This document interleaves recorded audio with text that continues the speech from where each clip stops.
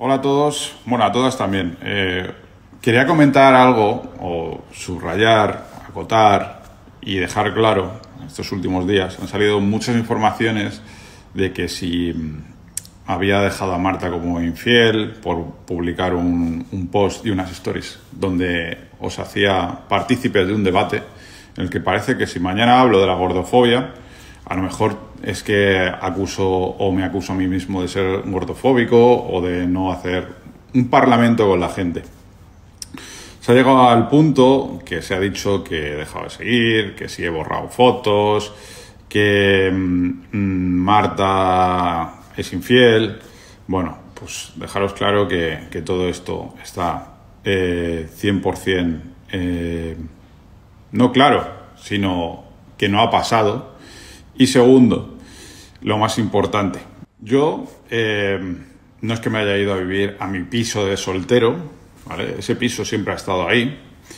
Me he llevado a los perros porque ha habido problemas en casa con, ellos, eh, no se les podía dejar aquí porque estaba en obras eh, todo el microcemento.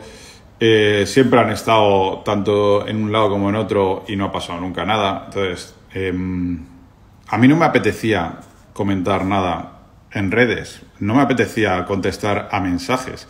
A Marta le pasa lo mismo. No le apetece contestar, porque si cada día contesto a lo que cada persona quiere, pues al final me convierto en un esclavo de la desinformación. Evidentemente, esto ha llegado a un punto en el que tengo que coger, hacer unas stories y, hasta incluso replantearme el quitar un post que tengo ahí en mi perfil porque eh, la gente piensa o dice.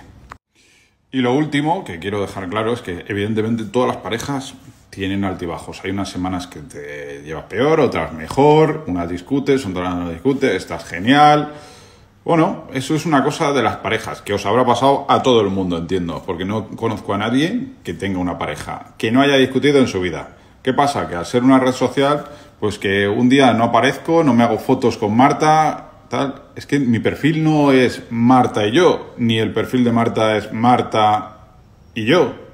Al final somos dos personas, dos entes, ella trabaja de una forma, yo trabajo de otra forma, y oye, si tenemos nuestros momentos, genial.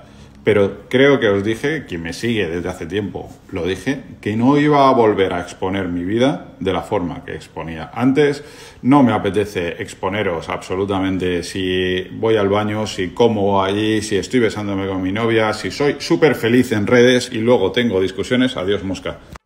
Porque eso ya lo he pasado y no lo quiero. Lo que quiero es una relación sana, una persona con la que tenga confianza de hacer lo que quiera y ya está Creo que con estas cuatro stories dejo claro la situación y que espero que lo entendáis, que quien quiera eh, compartir eh, situaciones o lo que sea, que las comparta y que para eso estamos, para compartir nuestro día a día, pero no para combatir la desinformación absolutamente todos los días, porque uno se cansa.